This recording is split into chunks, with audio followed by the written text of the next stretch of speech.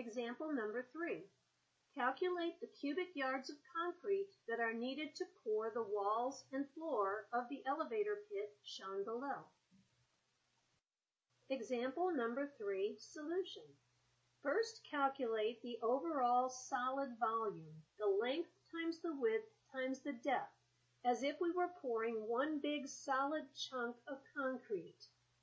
Across the top of the diagram, we see the dimension of the walls, 8 inches, and it also gives us the interior dimension for the width and the length. 8 feet 4 inches is your interior width. That is the same as 8.33 feet. To that, add your 8 inch walls on either side. 8 inches divided by 12 inches would be 0.67 feet.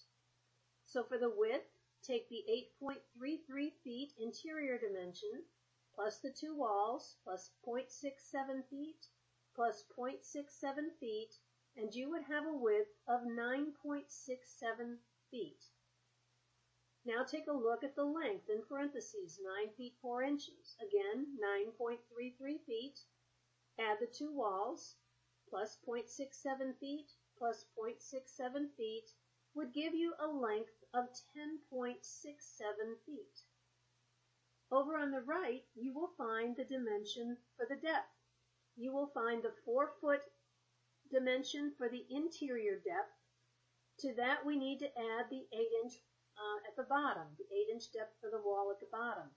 4 feet plus 0.67 feet will give you a depth of 4.67 feet. Multiply the 3 and you will have the total solid volume. The length, 10.67 feet, times the width, 9.67 feet, times the depth, 4.67 feet, would give you 481.85 cubic feet. Next, calculate for the interior void volume. We read off the plans that the interior width is 8 feet 4 inches or 8.33 feet. We also read that the interior length, in parentheses, is 9 feet 4 inches or 9.33 feet. Down the right-hand side, we read that the interior depth is 4 feet.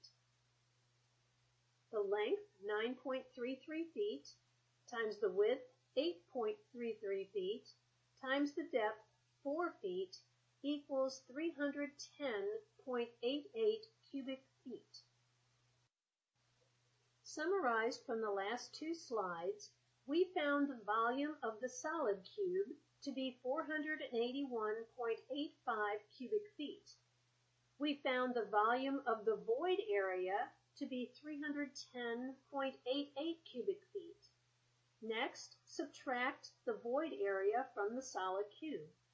481.85 cubic feet for the solid cube minus 310.88 cubic feet for the void area leaves us with 170.97 cubic feet.